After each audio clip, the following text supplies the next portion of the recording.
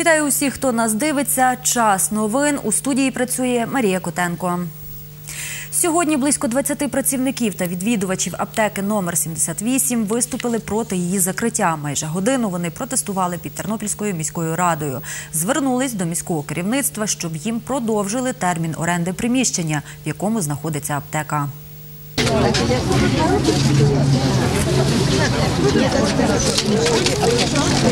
Ми відстоїмо не е, за нашу іменно роботу чи ні. Ми відстоїмо, щоб дана е, об'єкт господарювання залишився в комунальній власниці. Це не важливо, чи це буде місцевого е, самоврядування, чи це буде обласного, на якомусь рівні, але комунальні, а не віддати приватну структуру. До понеділка ми будемо звертатися ще раз в обласну раду, так як ми належимо до об'єкту господарювання е, обласної ради, щоб вона дала роз'яснення на подальші наші дії, куди ми маємо це все діти, що ми маємо зробити, бо тому що е, нам не було надано приміщення, де ми маємо ну, це все е, перевести.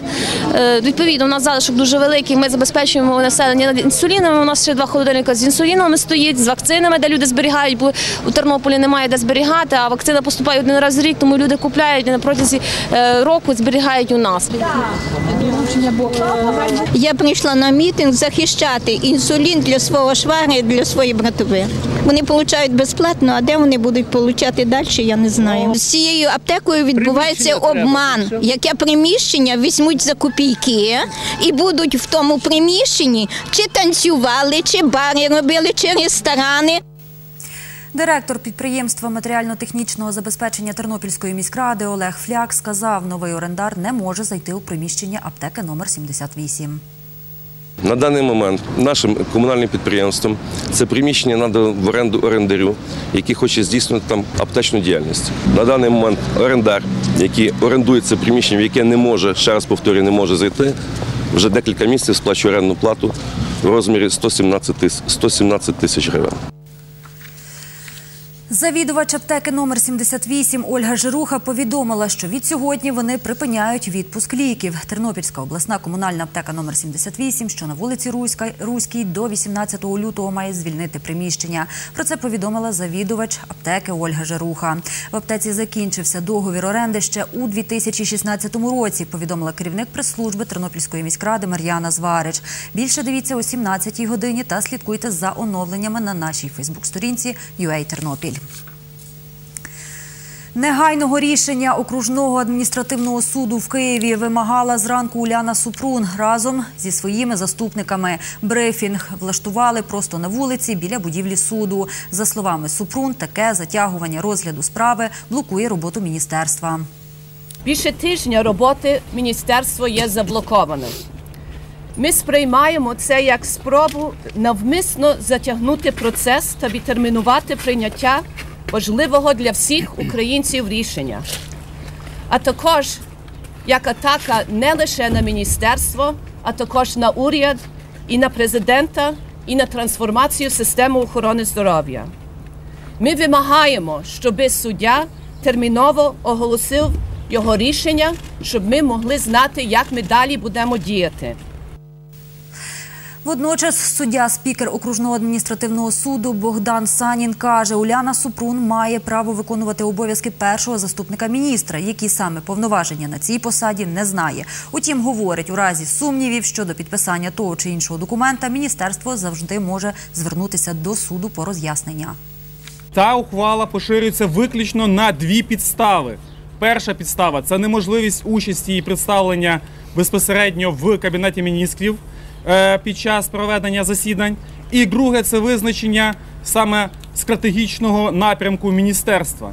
Весь інший обсяг повноважень, які були їй делеговані як першому заступнику міністра, він зберігається.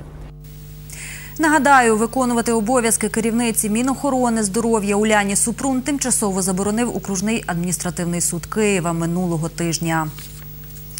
Чотири релігійні громади з Тернопільщини перейшли з російської до православної церкви України. Відповідні укази підписав архієпископ Тернопільський Кременецький Нестор Православної церкви України. Це парафії із сіл Шкроботівка, Залужжя і Підгайці Шумського району та парафія із села Дунаїв Кременецького району.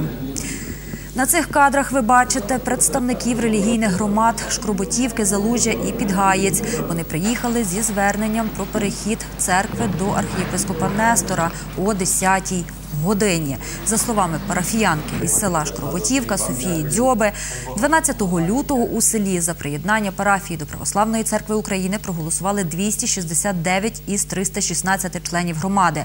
Парафіяни із села Залужжя Василь Ямпольський розповів, що 10 лютого на зборах із 86 членів релігійної громади перехід до Православної церкви України підтримали 80 осіб. У селі Підгайці збори релігійної громади відбулися 12 лютого. Усі 160 присутніх проголосували за приєднання парафії, каже один із парафіян Володимир Ласакевич. Близько 11.30 до архієпископа Нестора приїхали члени релігійної громади села Дунаїв Кременецького району. За словами Миколи Чуповського, на зборах релігійної громади 10 лютого за приєднання парафії до Православної церкви України проголосували 77 із 101 особи.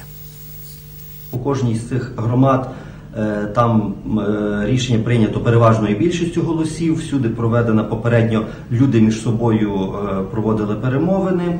І е, це рішення вже було дійсно рішенням зваженим, яке пройшло довгу підготовку. Станом на сьогоднішній день це вже 17 громад, які перейшли в українську церкву. Е, наступними кроками буде виготовлення е, статутів та іншої документації, які е, вже офіційно як юридичну особу підтвердять е, рішення, прийняті на загальних зборах. Зазначу, на Тернопільщині з Російської до Православної церкви України перейшли 18 релігійних громад, повідомив владика Нестор. Суд у справі вбивства Віталія Гнатишина не відбувся. Засідання відкликали через те, що не вдалося налагодити відеозв'язок із підсудним Сергієм Терендехом, який перебуває у Чортківському СІЗО, пояснив суддя Юрій Дзюбановський. Детальніше дивіться у випуску о 17-й годині.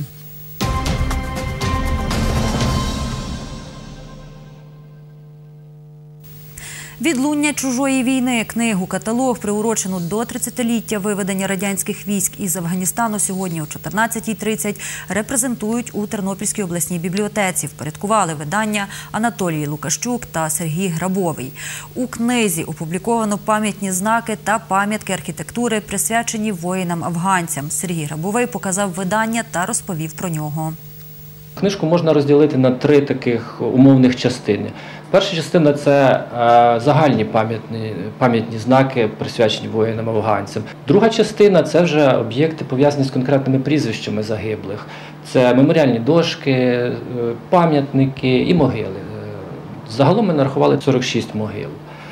На нашій території знаходяться загиблих воїнів афганців, а взагалі об'єктів у книзі є 90. І третя частина каталогу це географічний показчик. За абеткою тут населені пункти стане зручним в нагоді подорожуючим або тим, котрі хочуть е, безпосередньо самі відвідати ці меморіальні місця. Традиційним додатком до книги є е, карта з нанесеними цими місцями меморіальними. За словами Сергія Грабового, книга Відлуння чужої війни увійшла до серії книг каталогів Тернопілля в пам'ятках. Сьогодні на Тернопільщині хмарно з проясненнями на дорогах ожеледиться вітер північно-західний від 7 до 12 метрів за секунду. Місцями пориви вітру від 15 до 20 метрів за секунду. В день температура повітря по області від мінус 2 до 3 градусів тепла. У Тернополі показники повітря від мінус 1 до плюс 1 градусів. Повідомила синоптик обласного гідрометцентру Оксана Озимків. Такими були новини випуску. Більше дивіться о 17-й годині та слідкуйте за нашими оновленнями на сторінці у Facebook UA Тернопіль. У студії працювала Марія Котенко. На все добре.